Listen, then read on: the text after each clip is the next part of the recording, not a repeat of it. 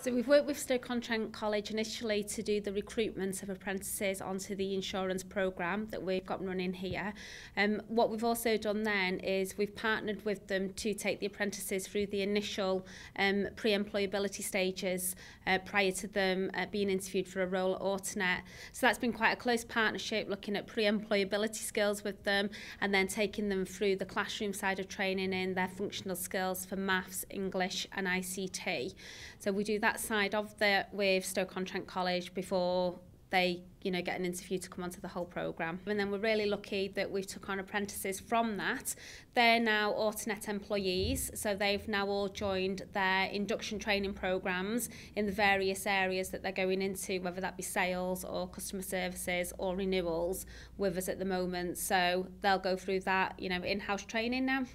I think the functional skills bit was um, is a bit strange because some people had already got the skills and some hadn't, so it was kind of like mix and match for a bit. But then now we've got past that and we're actually in the induction, it's really good. In the induction, we've got two trainers, and then they're both really good. And they tell you exactly what you need to know, and they're always there if you need some help. I've enjoyed the fact that we got to have an insight look in the business before we actually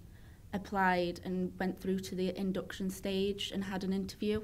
So we could have a look around in the different um, departments and see which one we had a better feel for.